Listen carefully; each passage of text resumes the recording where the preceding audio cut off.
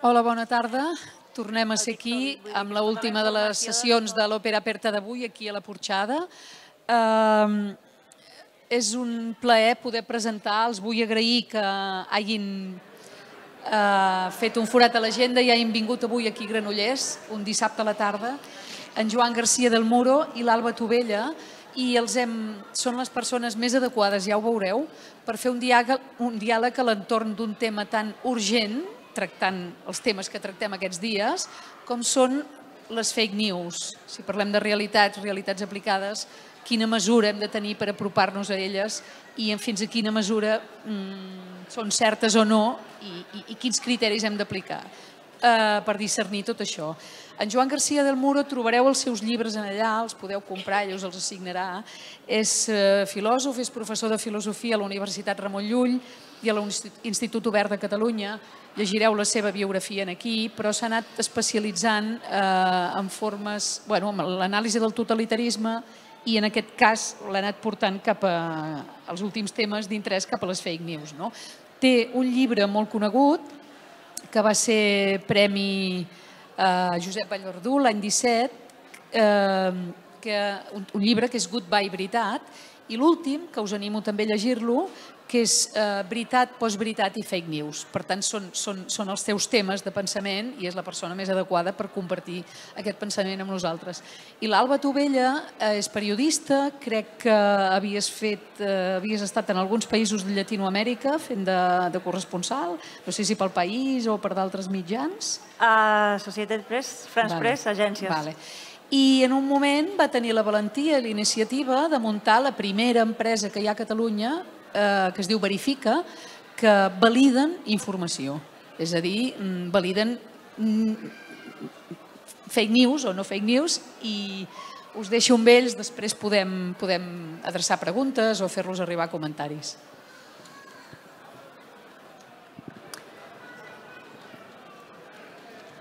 Començo, no? Bona tarda, gràcies a totes i a tots per ser aquí. Uh, se sent bé, no? Em, em diuen. Eh, veig que fins i tot la gent del fons ens està, ens està sentint i potser s'apropen. Um, és un honor per mi estar aquí entrevistant el, el Joan, conversant amb ell sobre aquest tema que ens ocupa a nosaltres cada dia, no? que veiem uh, com la informació es manipula i es fa circular a través de les xarxes socials, a través del discurs polític. I, i la veritat és que ens fa l'efecte no? que, que, que discernir la veritat del que no ho és cada cop és més complicat. Lligant aquesta qüestió amb, amb, amb l'essència de, del festival, volia preguntar-te, Joan, eh, justament per això, no? realitat i ficció són dos mons completament diferents amb, amb les seves eh, regles i estructures, cadascun d'ells. Eh, està canviant això? Eh, fins a quin punt segueix sent així? Sí, bueno, primer jo també us agraeixo moltíssim la invitació aquí. Se sent? No. No? Ara. Ara se sent? Vale. Eh, és una gran alegria estar aquí en un festival tan interessant i a més a més en un lloc tan fantàstic no? i a més a més compartint amb, no? amb l'Alba aquest, aquest escenari.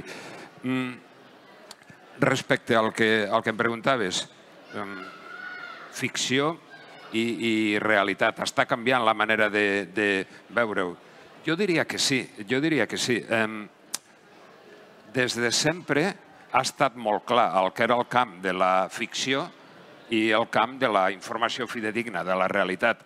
Jo, per gaudir d'una obra literària, d'un llibre o fins i tot d'una sèrie de, de la televisió, he de fer com una espècie de pacte, no? un, eh, suspensió temporal, provisional de la meva incredulitat, del meu esperit crític. No? Jo, és com si firmés un contracte, jo ara acceptaré totes les premisses teves que existeixen als dragons o que un professor de química que es posa malalt es pot convertir en un narcotraficant a nivell, o, o que podem arribar, o que existeixen els extraterrestres, accepto les teves premisses i llavors entro i disfruto moltíssim de, de tot el que és l'obra de teatre. No? Llavors, això està molt clar. El que és en la ficció, hi ha mm, alguns camps que potser són una... Igual m'estic enrotllant massa amb la primera pregunta, però eh, hi ha alguns camps que són potser una mica més... Mm, ambigus, no? Jo, als meus fills, quan eren petits, hi va haver un, una època que miraven molt un, unes coses a la televisió que per mi és l'espectacle més incomprensible de tots els espectacles, que és el, el pressing catch o la lluita lliure americana. No sé si us sona, una espècie de... que van disfressats mig d'esportista mig de drag queens, no sé, una cosa així, i, i que fan veure que es barallen, però es veu d'una hora lluny que, que no, no? I, i el que més m'assombrava a mi de tot això és com la gent complia els estadis, sobretot als Estats Units i a Mèxic, s'ho prenien en sèrio, no? els animaven, mata, no sé què, i, i dius, com pot ser que, que s'ho creguin això, no? Veuen que és com una dramatització, però terrible que... que no? Llavors, això em va fer pensar una mica, no? En el fons, igual nosaltres fem el mateix. A mi no m'omplen aquest tipus d'espectacles, però jo faig el mateix en, no? en el món del, de la literatura o del cinema. Mm, I vaig on volia arribar. Hi ha com un, potser un terreny eh, intermig, que seria el de la publicitat eh, comercial. No? Eh, jo ja sé que eh, els anuncis que fan dels productes de la tele no, no em diuen la veritat del tot ni tota la veritat, però bueno, és com una mena de joc innocent, no? Jo ja sé que no seré feliç per menjar unes patates fregides o per rentar amb una marca de rentadora, però eh, i en el fons ho acceptem perquè, bueno, no, eh, és més o menys així, no? Llavors, el, el, perdoneu, aquest preàmbul tan llarg com volia arribar per contestar-te tu, em sembla que el problema de, de, el que està passant en l'actualitat és que eh, aquesta actitud l'hem traslladat també a altres àmbits on no hauria de ser, que és en l'àmbit de la informació política o de qualsevol tipus d'informació. En, en política, moltes vegades em sembla que ens comportem com eh, quan estem llegint literatura, quan estem veient anuncis, no? Mm, som crèduls, i ara ho parlàvem, no? I som, jo diria que massa crèduls. No, no apliquem cap criteri ni de verificació ja, ni tan sols d'anàlisi merament seriós. Si una, un dels que jo considero dels meus em diu coses que m'agraden, ja m'és igual, ja, ja m'ho empasso. No? Llavors, eh, em sembla que, que aquesta no definició exacta o no, no, eh, no separació o distinció estricta entre el que és ficció i el que és realitat està jugant molt en contra de la pròpia democràcia. No? de la pròpia democràcia. Sembla que sigui un joc relativament il·locent, però té unes conseqüències que suposo que mm, ho anirem veient, no? ho anirem veient ara. Sí, el fet de que el, el debat polític s'hagi convertit d'alguna manera en aquest pressing catch que, que, al, al qual fas referència. No? Uh, tenim unes eleccions uh, en un mes i, i hem vist com, com s'han proposat sis debats electorals eh, que, que de fet els debats cada cop els veu men, menys gent, no? el debat complet el veu cada cop menys persones, ningú es eh, consumeix eh, completament un ple al Parlament o al Congrés dels Diputats i el que està passant amb les xarxes socials és que eh, els partits aprofiten eh, aquestes situacions per després fragmentar els missatges i enviar els seus aquests missatges eh, exactament fragmentats, no? El que, que està relacionat amb el que deies tu de eh, a nosaltres ens arriba el que, el que és dels nostres i llavors creiem en, en el que diuen els nostres. Això quines conseqüències pot arribar a tenir per la, per la política, per la democràcia, de fet? Sí, sí, això, tal com ho has dit, jo ho he pensat moltes vegades. En els debats electorals sembla que el debat en si sigui irrellevant. El que importa és just quan ha acabat el debat, els spin doctors no, de cada un dels candidats com agafen i llavors fan la interpretació que interessi de cara als que... No? I bueno, jo no ho sé, igual soc molt pessimista, però em sembla que fins i tot moltes de les coses que es diuen en els debats tampoc no intenten ser un diàleg seriós, no? un, intercanvi, no? sinó que més aviat són només eh, el que saben que han de dir perquè després els que es dedicaran a, a això, no? a agafar aquestes frases, a posar-les en les xarxes socials diguin el que, el que hagin dit. I el que em preguntaves sobre la democràcia, això sí que em sembla el, el problema essencial. Jo porto, bueno, ja ho heu dit, molts anys estudiant el, el tema aquest i, en principi, el tema de la veritat o, o de les mentires, no? de l'engany, del fake news, és un tema epistemològic, no? seria un tema que, que pertany a la, a la teoria del coneixement, però eh, té unes repercussions eh, ètiques i polítiques brutals. Eh? brutals. Eh, amb l'Alba ho, ho parlàvem. Jo crec que si no acceptem d'entrada eh, una certa noció de veritat, si no partim d'una veritat, tot el que és després em sembla que és la democràcia és pura ficció, no? Eh, és un engany. Si, I fins i tot jo diria que, que fins i tot la llibertat d'opinió, si d'entrada ens enganyen o ens manipulen la informació que ens arriba, jo a l'hora de triar per molt que es respectin escrupulosíssimament tots els procediments democràtics, si la informació que m'ha arribat no és la veritable, ja, ja tot falla. Això em sembla que és obvi, no? però i jo encara afegiria un altre problema més eh, en el tema aquest de les fake news de cara a la, a la democràcia, que eh, jo crec que la democràcia, en realitat, l'essència és que hi ha un espai on podem conviure diferents pensaments i jo sóc capaç de, de posar-me en el lloc de l'altre, d'escoltar-lo i de, de parlar amb ell. No? Llavors, la idea aquesta de, no?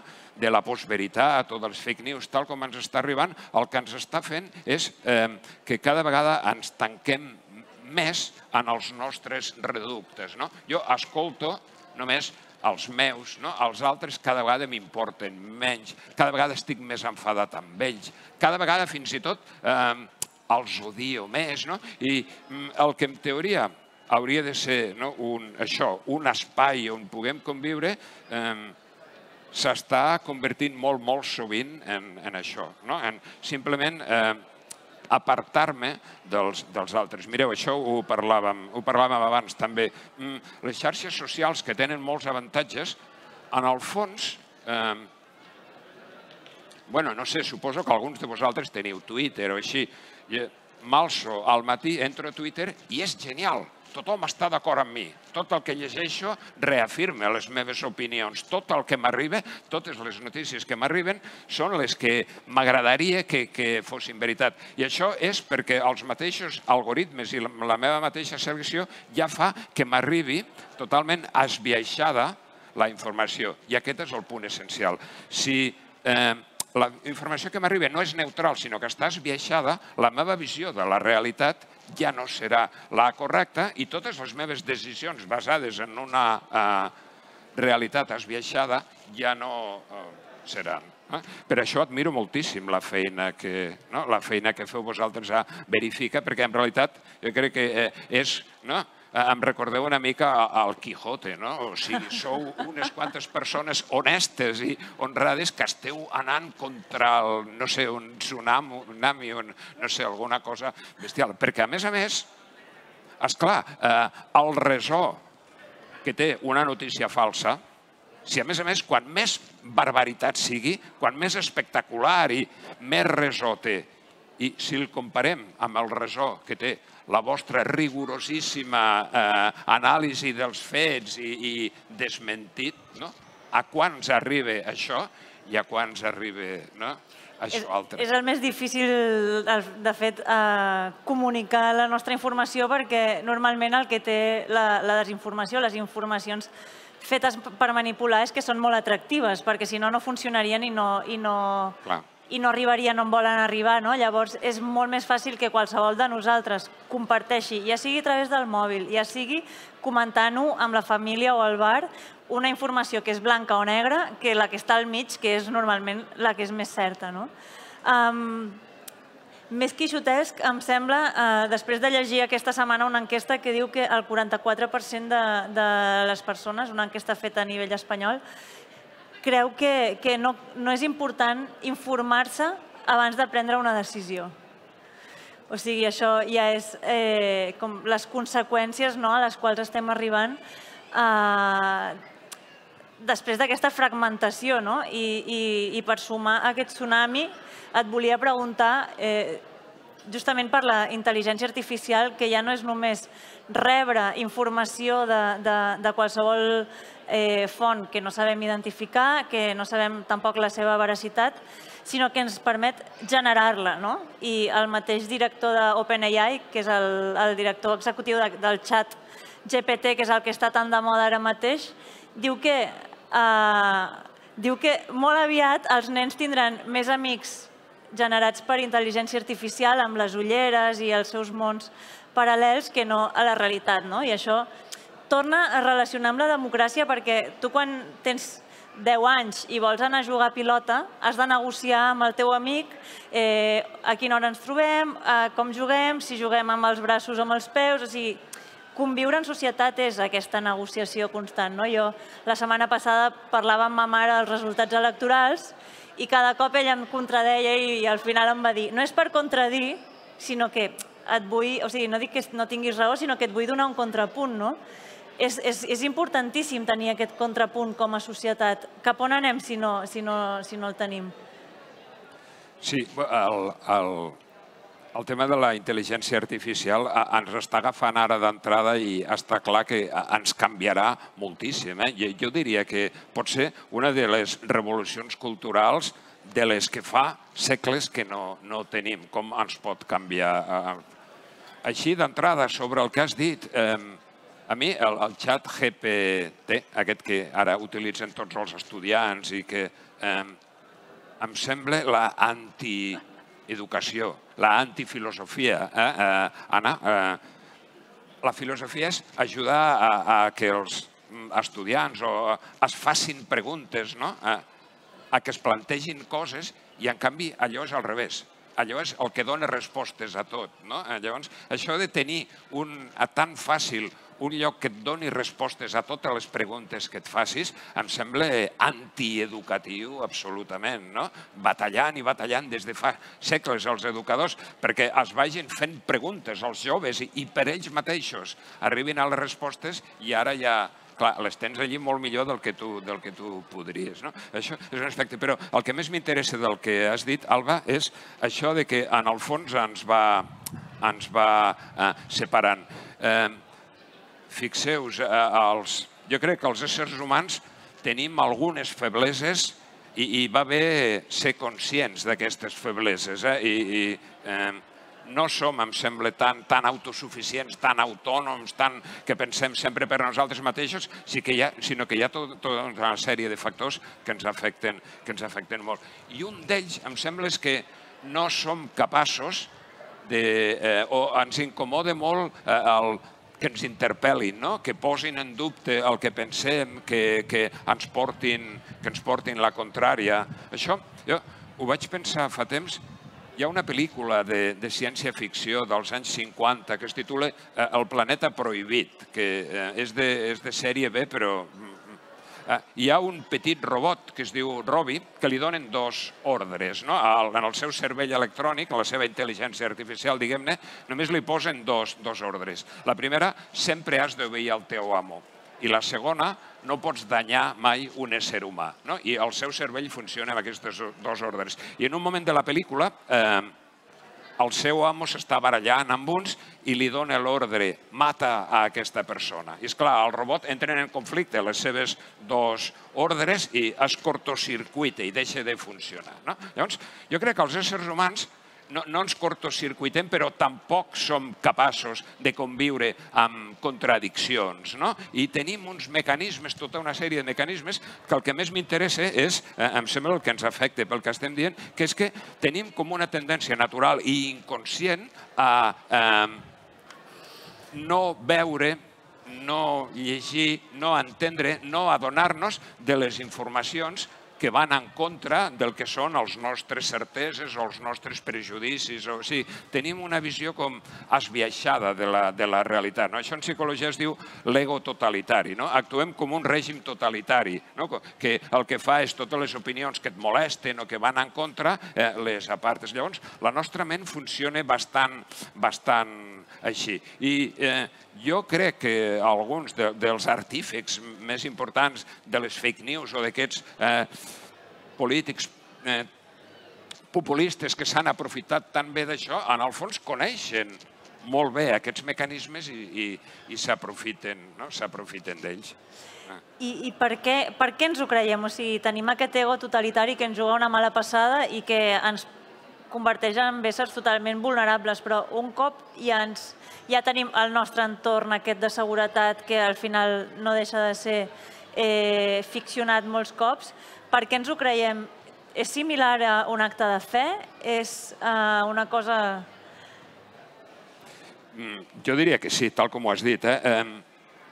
La nostra part emocional juga també en les nostres decisions. Quan tu deies no, que, que eh, molta gent no creu necessari no, conèixer bé abans de prendre una decisió, eh, jo diria que moltes de les decisions que prenem en política, evidentment, i en molts àmbits de la vida, no són tan racionals com jo diria, sinó que estan marcades per, per qüestions emocionals en les quals jo no, no puc aplicar el meu esperit crític o, o el meu... No, sinó que si algú m'està eh, enviant missatges d'una manera emocional que no passen per la raó, sinó que van als meus... Eh, missatges identitaris o missatges d'aquest tipus, em sembla que ens afecten i ens fan actuar d'una manera, no? d'una manera que potser no ho faríem si actuéssim eh, racional. I és clar, és molt més fàcil això, jo veure-ho en els que no pensen com jo, no? Penso, però, però, i jo crec que tots hi caiem, potser, no? en això. Sí, sí, no, 100% que tots hi caiem perquè això està demostradíssim que tots ens podem creure una desinformació tu, tu i jo ara, abans d'entrar, no? Quasi. Bueno, hi havia una informació... És que uh, m'ha entrevistat una tiktoker xinesa abans de, de pujar aquí dalt per casualitats de la vida i, i comentàvem que hem llegit, però no, no recordem a on, per la qual això ja com, comença a generar una, una, cap, una capa de dubte, no? que TikTok eh, a la Xina ensenya joves estudiosos, enginyers, matemàtics i grans eh, in, bueno, molt estudiosos, no? i aquí són ballets, maquillatge, moda, etc. No? Llavors, com eh, en funció de, de l'algoritme i de l'interès que hi ha darrere, eh, les tecnologies al final poden ensenyar un contingut o, o ensenyar-ne un altre. No? I això té grans conseqüències. La cosa és que això ho heu de... Eh, no podeu suspendre la vostra credulitat amb aquesta informació i quan sortiu, si plau, eh, confirmeu-ho perquè no, no ho hem tingut temps de, de contrastar.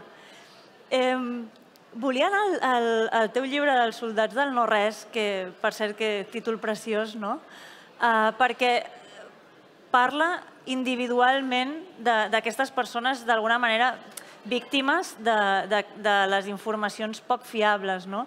Eh, com ens afecta a nivell, a nivell personal? Per què acabem generant un moviment, eh, creant un, prenent decisions vitals eh, en base a, a, a les informacions que no són que no, van molt més enllà d'un clic o, o un vot, no? sinó que eh, un jove que s'ha criat aquí pot arribar a llistar-se a les llistes de l'ISIS.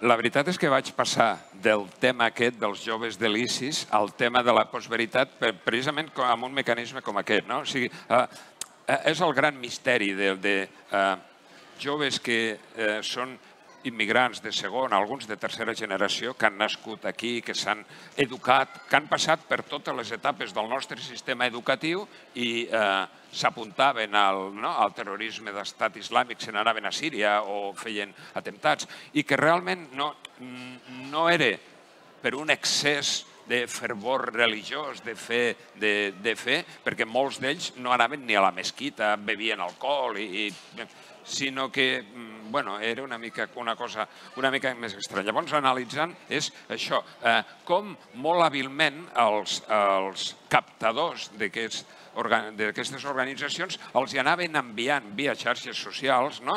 eh, informacions gairebé personalitzades per a aquesta persona. No? Eh, tindràs una comunitat, no? tindràs un, la UMA, no? tots estarem junts, ens sacrificarem per tot. Això imagineu a un noi que aquí se senti una mica o molt rebutjat, una mica marginat, un, un que no s'ha acabat d'adaptar, o sí, però encara no es considera que és un ciutadà tan de primera com els que tenen cognoms d'una altra manera. No? Són missatges que els hi poden arribar. A altres simplement l'esperit d'aventura, no? a altres d'altres tipus. Llavors, jo pensava, com pot ser que prenguin el que tu has dit, una decisió tan important basant-se eh, en qüestions que, que no, no, però una mica com amb lo del pressing catch. Després penso, bueno, igual jo i nosaltres no tan transcendents, però tampoc no, em sembla que, que no ens lliurem d'això. No? I em sembla que analitzant el panorama polític internacional dels últims anys, bueno, es pot detectar fàcilment com moltes vegades també ens deixem mm, mm,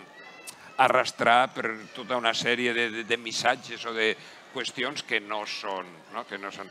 El tema aquest, no? de, la postveritat, eh, les fake news i això, jo des de que vaig començar a, a pensar aquest tema, crec que he, he viscut uns enormes laboratoris del, de la postveritat, no? que serien eh, aquí el tema del procés, no?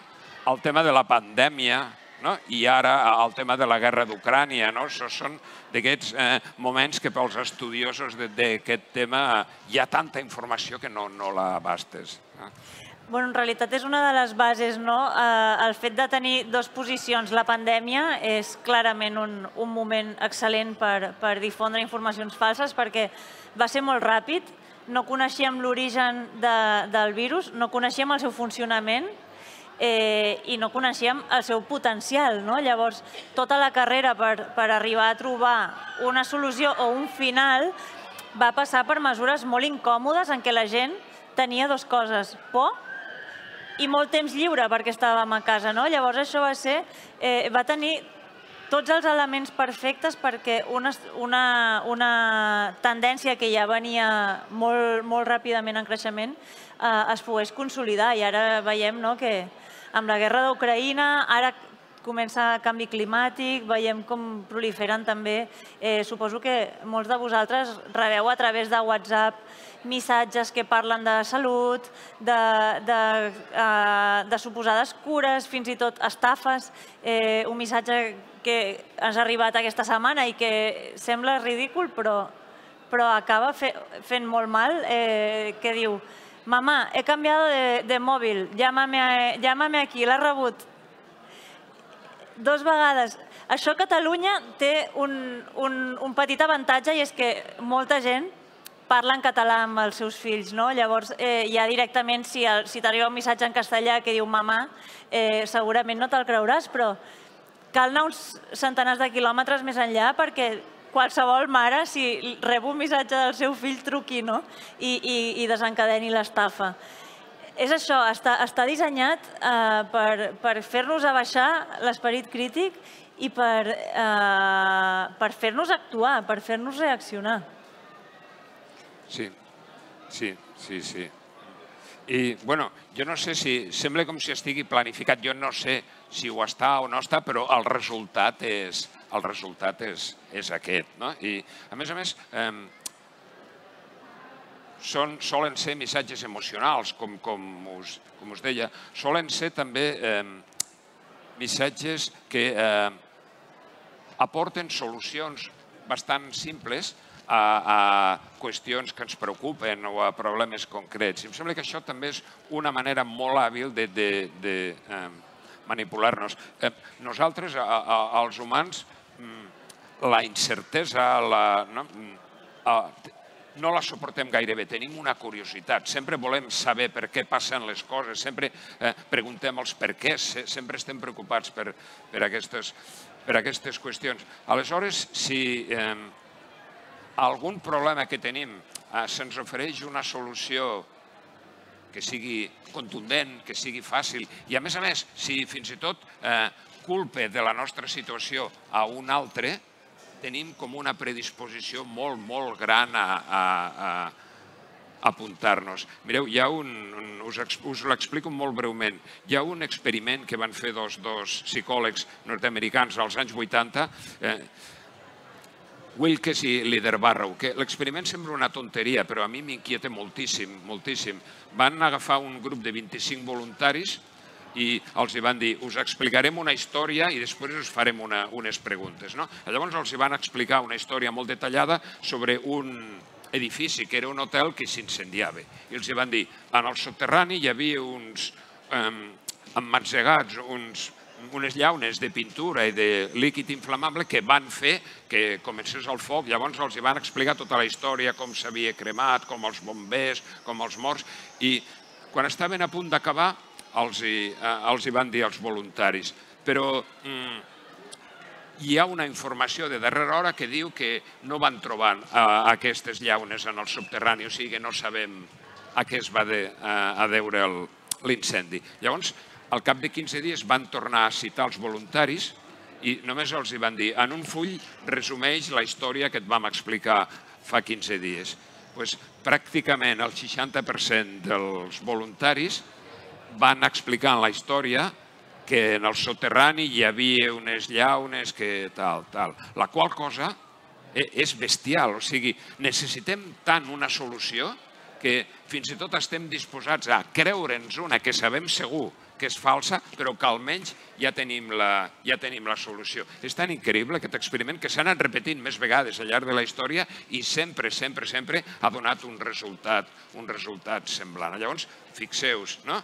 jo que aquí estic amb tots els meus problemes, si ve algú i em dona una solució, encara que sé gairebé segur que no és veritat, és igual, m'apunto, m'oblido de la incertesa del, eh, i accepto aquesta, aquesta solució. I em sembla que a, a, algunes de les coses de, de la política actual funcionen, eh? funcionen una mica d'aquesta manera. I em preocupa bastant que, bueno, e, evidentment jo trobo que és un mecanisme totalment antidemocràtic, no? que, que es basa en la manipulació, en aprofitar-se d'aquestes coses. Però em preocupa que eh, el podem detectar no només en els que diríem que són els sospitosos habituals, els més antidemòcrates, sinó que en tot el ventall de, em sembla, de les posicions polítiques es troben eh, aquest tipus de, de mecanismes o aquest tipus d'actuacions que són molt poc, eh, jo diria, molt poc democràtiques. Eh? De fet, l'experiment que expliques em fa pensar que la mateixa memòria nostra funciona així, no? que si ens oblidem d'alguna cosa tenim més tendència a emplenar aquell forat amb una invenció que, que simplement dir no ho sé. I aquesta incapacitat de dir no ho sé es trasllada a, totes, a tots els espais de la vida. No? És, és molt difícil eh, trobar algú que admeti falta de coneixement sobre alguna cosa, conscient o inconscientment. No? Um, Sí, sí, sí, sí. És, fixeu-vos, abans us deia no? que, que la intel·ligència artificial és el menys socràtic possible, el menys filosòfic, allò del fer-se preguntes. No? Pues la, la, el lema de Sòcrates, del només sé que no sé res, no? com el reconèixer que no saps alguna cosa per començar a pensar, també és absolutament el contrari d'això. I no només és la memòria, jo diria que és la mateixa percepció. Eh? O sigui, la meva manera de percebre la realitat està eh, determinada per les meves conviccions i pels meus prejudicis.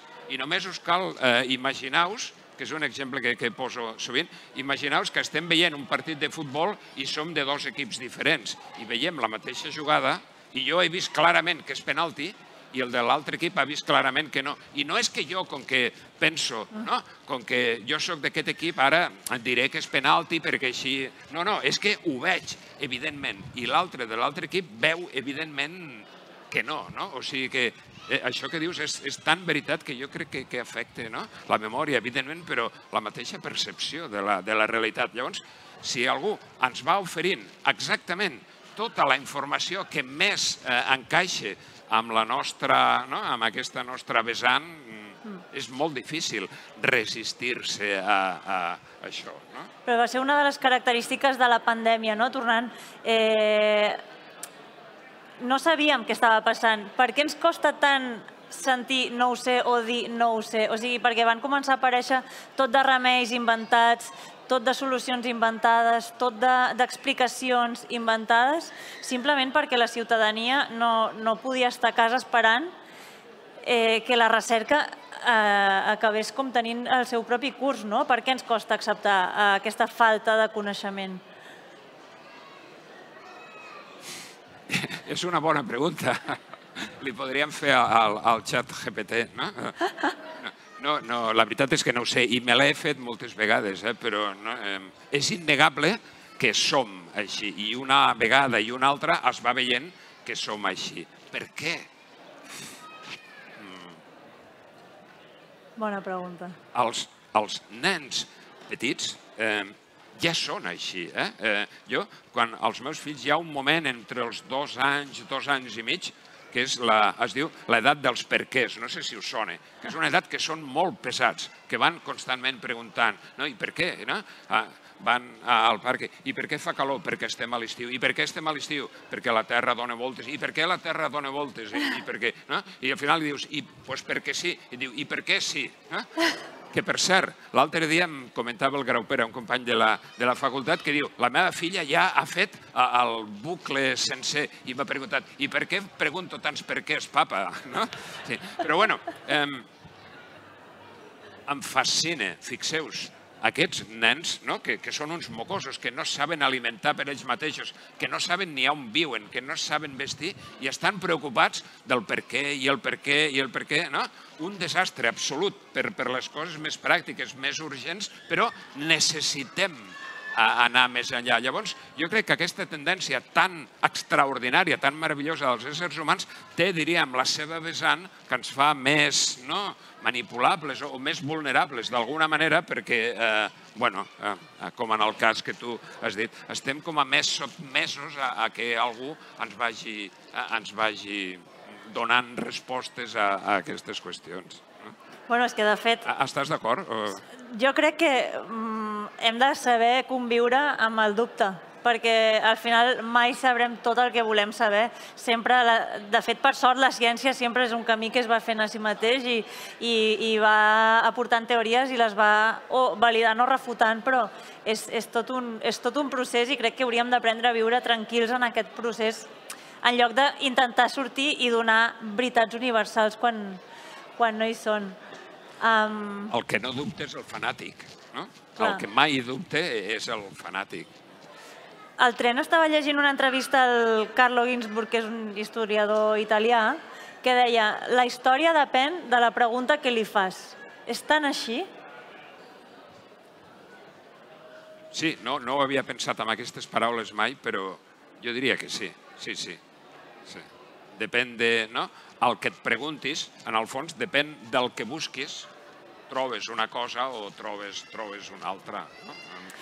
Però... I Bueno, digues, digues. Un, un, un, una cadena factual d'esdeveniments compartida hem de tenir, no? O sigui, per molt que hi hagi preguntes a fer sobre la història o sobre l'actualitat, el terreny compartit del qual parlàvem també aplica a l'evolució, no? Clar, ah, i aquí entrem en un tema, igual eh, es faria molt llarg, però en un tema que jo trobo essencial, no? Aquesta cadena del que parlaves, o aquest punt on ens trobem, no? aquest punt on ens trobem, mm, la veritat. La veritat. Jo sé que té mala fama i que en nom de la veritat al llarg de la història s'han comès moltes barbaritats. No? Per creure massa en una veritat, per defensar massa una veritat en majúscules, igual eh, hem, això, hem fet barbaritats. Però eh, si prescindim totalment de la noció de veritat objectiva, ens quedem sense cap punt de referència que ens permeti eh, unir-nos. No? Què vol dir? veritat. Si ara jo, a, ens, ho, ens ho preguntem, què vol dir veritat? Jo crec que hi ha un espai comú de, de, o un, no? un, un, un material comú compartit eh, que tots interpretem des de la nostra pròpia perspectiva i és el que actualment es coneix com la meva veritat, la teva veritat, però sí que hi ha una realitat sobre la qual nosaltres podem fer aquestes interpretacions, perquè si no, no ens trobaríem mai, no? estaríem com en viatges psicodèlics paral·lels. Exactament. Si no hi hagués aquesta mínima veritat objectiva, tampoc no hi hauria fake news, perquè si no hi ha veritat ja no hi ha falsetat. No? O sigui, si l'únic criteri de veritat el faig tan intern, tan intern meu, que dic, per mi, veritat és allò que m'agradaria que sigui veritat. O per mi, veritat és el que em sigui útil per aconseguir. O veritat és el que em faci sentir bé. Si el criteri és totalment interior, que té els seus avantatges i té el seu encant, però si, si trenquem absolutament amb els fets, llavors ja no ens podem trobar no? amb, amb ningú.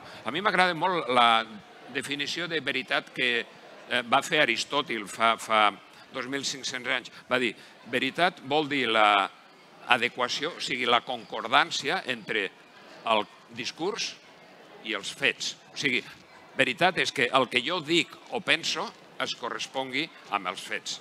Hi ha vegades que jo no conec els fets, doncs llavors no sabré si és veritat o no el que dic. Però aquesta eh, objectivitat, que em sembla que és el que us dediqueu vosaltres, precisament.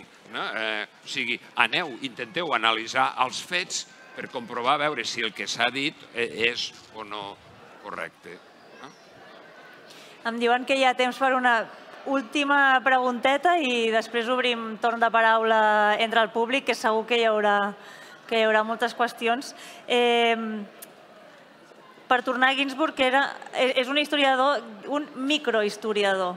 Eh, com creus que ens veuran els individus de, de principis del segle XXI d'aquí 50, 100, 150 anys? Et guardaves les preguntes difícils pel final, eh?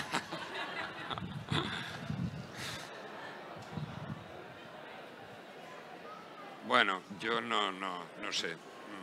No crec que ens vegin tan malament com veiem nosaltres als centreeuropeus de, de mitjans del segle passat o, o no? d'això. Fins i tot no crec que ens vegin tan malament com nosaltres potser eh, mirem als medievals, que per cert jo crec que és una visió tòpica i falsa, però eh, jo crec que eh, ens estem lluint bastant, eh? estem posant bastants números perquè eh, els historiadors del futur eh, parlin de nosaltres no, no gaire bé. Eh? Tu, tu sí, que jo crec, bueno, tinc, tinc, tinc la, la sensació que passarem a la història com, com una generació que no pot parar de fer-se fotos a si mateixa, no? Ah. eh, com estem tota l'estona amb, amb el mòbil, amb la nostra pròpia imatge i amb la nostra pròpia percepció de les coses i molt poc connectats eh, els uns amb els altres eh, fora d'aquest d'aquest món digital. Però bueno, per sort eh, hi ha cada cop més tendència a, a, a aïllar-se de, de la tecnologia i, i recuperar una miqueta la, les relacions. Uh, obrim el torn de paraules, de, de preguntes, perdó, eh, pel públic, que al final s'ha omplert, com no podia ser d'altra manera perquè estem al carrer.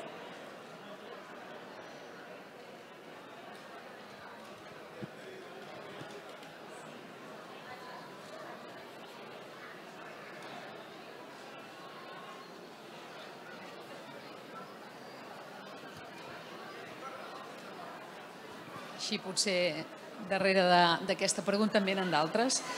Uh, tinc una mica la sensació que de tot plegat hi ha una pregunta pertinent i això lligaria una miqueta amb els totalitarismes, que, amb el teu tema. Qui són els inversors en recerca d'intel·ligència artificial? És a dir, qui posa diners en tot això? Perquè al final tinc una mica la sensació que és no, allò de, de conduir el ramat i el servei de què es posen les fake news, no? O sigui, qui, qui mou els fils, perquè aquí hi ha alguna ment que mou els fils. Sospito que té a veure amb el capital, però mm, no sé si m'ho podeu concretar una miqueta més o, o també és una pregunta d'aquelles... Està clar que eh, els algoritmes del funcionament de la intel·ligència artificial no són autocreadors, sinó que algú els ha programat d'aquesta manera. No? Són fórmules matemàtiques que algú les ha dissenyat i, és clar, a aquest que les ha dissenyat algú el pagava i aquest disseny està fet amb un determinat, no? amb un determinat interès. Llavors, eh, si ara ja parlem de que el món que ens arriba per les xarxes socials o per, per fins i tot pels mateixos cercadors d'internet ja és esbiaixat, em sembla que eh, estem pujant a un altre nivell amb el, que pot ser el viatge de la intel·ligència artificial. No? Eh, ja podem construir tot una, un coneixement que parteixi d'aquest viatge. Mm, responent ràpid, no ho sé, però eh, està clar que hi ha algú. No? No. Aviam, jo crec que no és, un, no és un algú, sinó que són com tota la vida hi ha hagut interès per, per tenir control sobre l'opinió pública i no és tan fàcil i no és tan directe d'invertir diners aquí i influenciar allà, sinó que al final és, es va generant eh, una inversió, òbviament, amb interessos privats, interessos polítics, interessos geopolítics, o sigui, al final eh, hi, ha, hi ha molts interessos al món i crec que no, o sigui, no és que hagin canviat eh, excessivament amb la tecnologia. Eh, qui ha volgut eh, tenir el control sobre, sobre l'opinió hi ha sigut sempre. Tampoc crec que, que, que, que haguem de, de ser tan pessimistes, és que crec que ha, acabat com, ha quedat com una cosa per anar a menjar xocolata en xurros i a plorar. I, i de fet, a internet hi ha moltes coses meravelloses i es pot també accedir a la informació eh, com no havíem pogut fer fins ara. No? Llavors, eh, sí que hem de ser conscients eh, de fins a quin punt funciona d'una certa manera i fins a quin punt nosaltres eh, estem predisposats a creure'ns eh, uns certs discursos, però també eh, sabem que si tenim l'actitud crítica i si tenim eh, les ganes de, de, de, de diàleg, a internet hi ha molta gent i molta informació que ens pot aportar moltíssima, molti, moltíssima intel·ligència i felicitat. Jo igual sóc un pelet més pessimista. No? El perill, fixeu-vos, la intel·ligència artificial, jo tinc aquí algú que pensa per mi i a més a més que pensa molt millor que jo perquè sap molt més, té moltes més dades i, i qualsevol cosa que em plantegi li puc preguntar i ell ja ho pensa per mi. Llavors jo ja no em cal pensar-ho. No? Llavors aquesta dinàmica de que, bueno, eh, és molt més còmode no haver de pensar-ho tot jo, solucionar-ho, el que dèiem abans, el dubte, no? ja, això que et resolguin tan ràpid i tan fàcilment totes les qüestions que se't plantegin, és perillós, jo diria, en gent de la nostra edat i, i doblement perillós, em sembla, en persones més joves. No? Però bueno. Aquí tenim una altra pregunta. Sí, um, jo volia preguntar, um, alguna recomanació per buscar informació um, a internet, perquè sí que hi ha molta informació, però a l'hora de la veritat eh, no saps destriar o les fonts, és a dir, m'agradaria saber com, com anar les fonts realment, per exemple, en temes de geopolítica o en altres temes. Com buscar informació? Alguna recomanació? Tu, tu. Aviam, hi ha moltíssima... Sí, hi ha, hi ha moltes opcions des de mm, geopolítica que m'estàs preguntant, mira, hi ha uns nois que es diuen el Orden Mundial que cada setmana fan, fan reporterisme sobre temes que estan passant a nivell internacional no? I, i fan molt bona informació. Els, els diaris, eh, els informatius de, de televisió, eh, cadascú té el seu estil i el seu gust, però alguns estan molt ben fets mm, o sigui, jo crec que no hem de destruir tot el que hi havia abans, hem de mirar-ho críticament perquè, òbviament, cada diari i cada mitjà té la seva línia editorial, ha baixat la qualitat en alguns aspectes per, per tota la digitalització mal resolta en molts casos. Eh, hem de conèixer no? una mica com s'està tractant la informació per després aproximar-nos, però crec que hi ha diaris que estan fent molt bona feina encara i, i està, està, estan a internet amb informació en general o, o informació d'actualitat? M'estàs preguntant, perquè al final el que jo diria, el que sempre fem nosaltres és anar a la font, identificar si el missatge diu d'on ha tret la informació, perquè si, si tu trobes una informació que parla sense fonts, que parla sense proves, que parla sense, sense dir eh, quina metodologia ha seguit per arribar a aquella, a aquella conclusió, no t'està donant pistes perquè hi confis, però si cita les seves fonts, si veus que hi ha un periodista que s'ha desplaçat fins al lloc dels fets, si ha entrevistat diferents tipus de persones, si és un si, bueno, si, si té referència a dades i estadístiques, no? eh, depèn, depèn molt, però per mi la base és que la informació porti les seves fonts i les seves proves de que és veritat.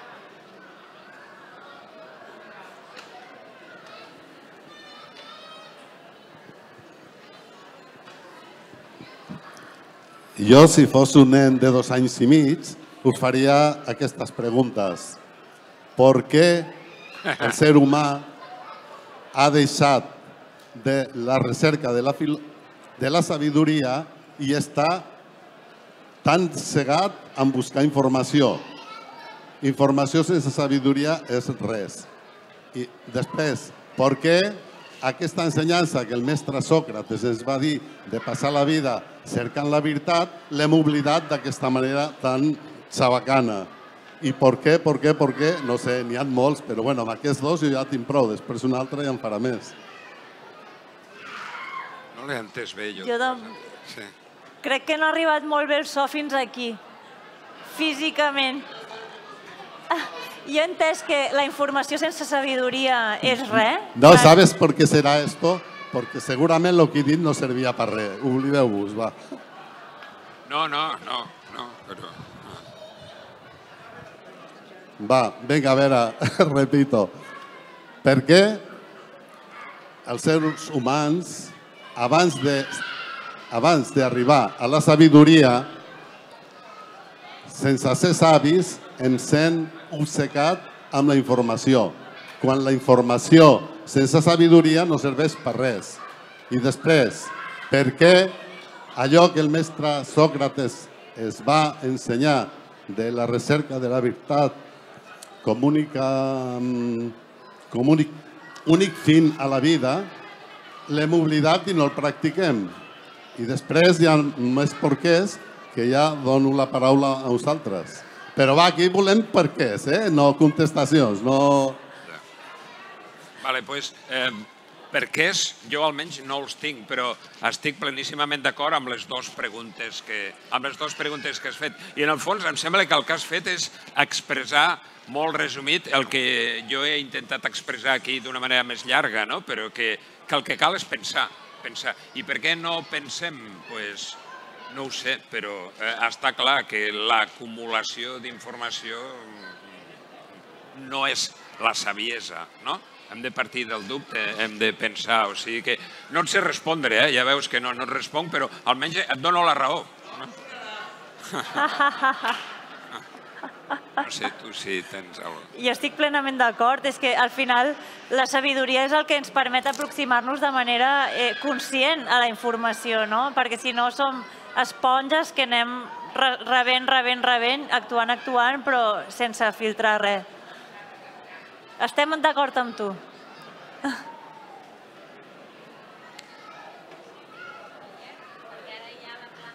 Hi ha molta gent. Gràcies.